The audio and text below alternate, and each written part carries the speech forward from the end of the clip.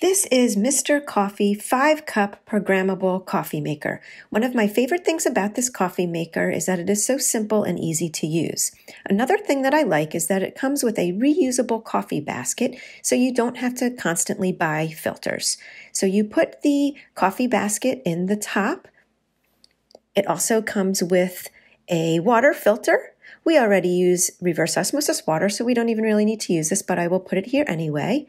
And it also has a lever where the water is dispensed. So you put the water in the back, and when you shut the top, it will automatically move the lever to the correct positioning. So once you have um, your water and your coffee in, you can either tap brew now or brew later if you want to put it on a timer. The other thing that I love about this coffee maker is its size. It is not going to take up much counter space. It is very petite and it is the perfect size coffee maker for the perfect cup of coffee.